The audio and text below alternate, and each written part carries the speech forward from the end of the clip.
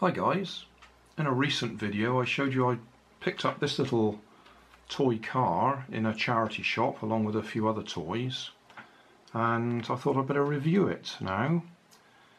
It's a wall climber. Uh, interestingly it's got these like tank, tank tracks here rather than wheels. That's the vent that the air's sucked through and I guess the tank tracks help to seal it against the wall. Usually they seem to have um, sort of flaps alongside here to seal the air and wheels inside so this one's a bit different.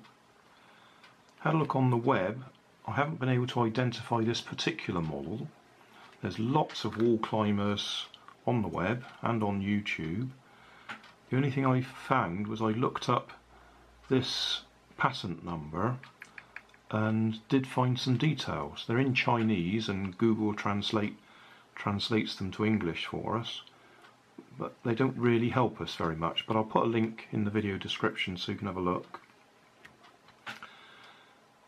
The switch is off ground and wall and then we got the charger port there. I've been able to get some charge into it and if I switch it on we get one of the headlights comes on. And if I switch it all the way to the wall position the fan comes on.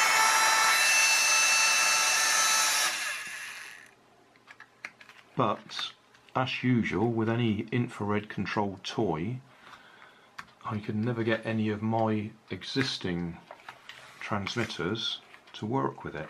This is an Air Hogs one.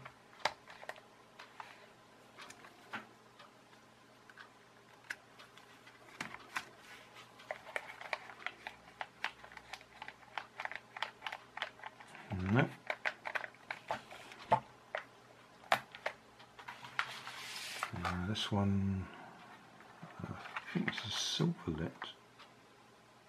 Not sure. turn it off, turn this one on, turn it on,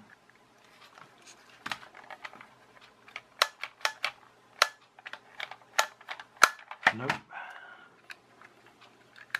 off, off, now this is the Silverlit, on, on,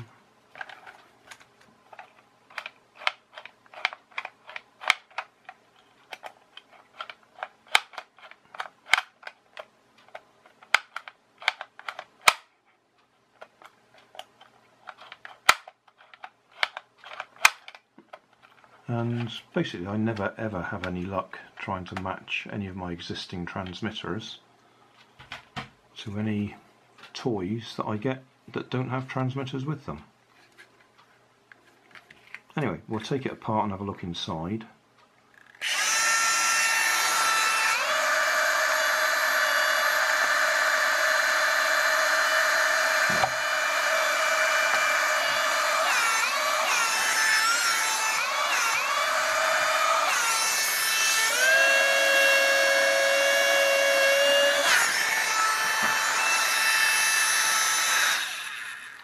Shame really because it clearly works but without a transmitter it's pretty useless.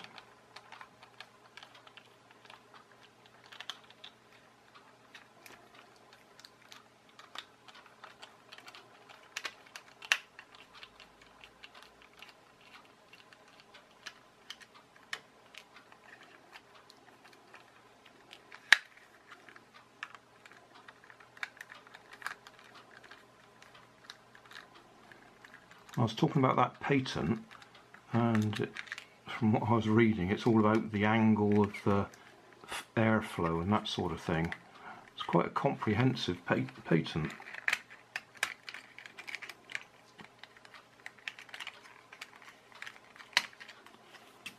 Right, so there we are. That's the top of the rotor sucks the air through or blows it out here this plastic all helps to direct the airflow. That's the infrared sensor, and that's our LEDs for the lights. And the wires don't appear to be broken. So, to get inside,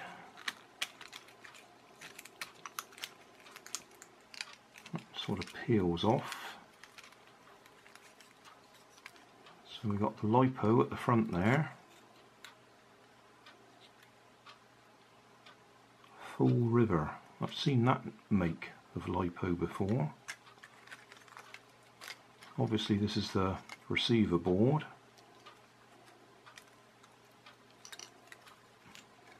What I do like is all these gears here. That's a lot of gears there to gear the motor down to give it the power to drag along the, um, I'll call them caterpillar tracks.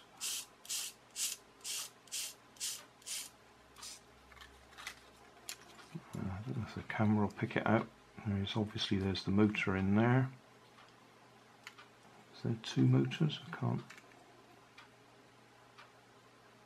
I suspect there's another motor underneath the LiPo there. Probably stuck in place. Mm, yeah, that's out. Yeah, so we've got a motor at either end. So that one's driving this set of tracks, and that one's driving this set of tracks. Don't know if there's any point actually undoing that. Different size screwdriver bit.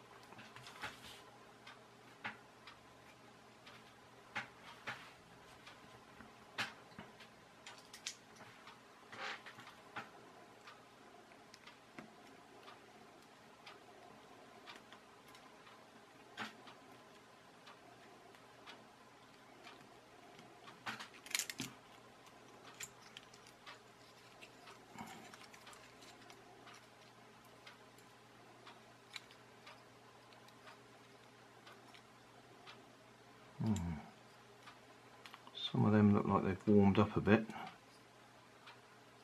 sometime.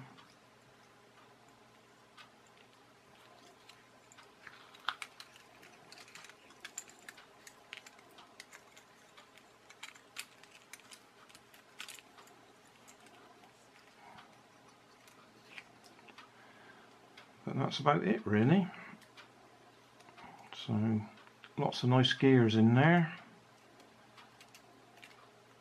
but without the right transmitter to match the receiver we're not going to go very much further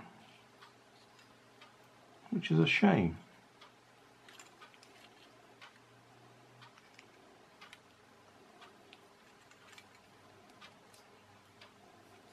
so like that's been squeezed a bit there the insulation I'm talking about.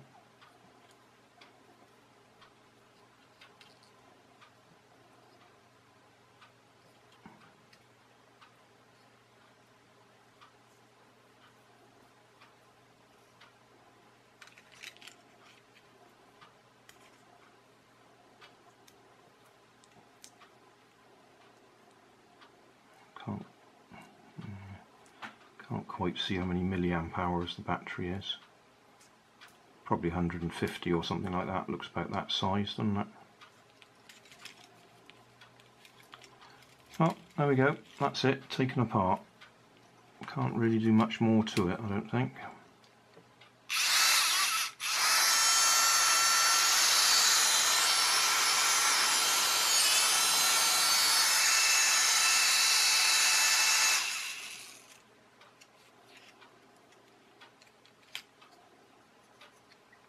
Two nice little motors, plenty of nice little gears, but that's about it. Oh, there must be another motor under there, so we got three motors.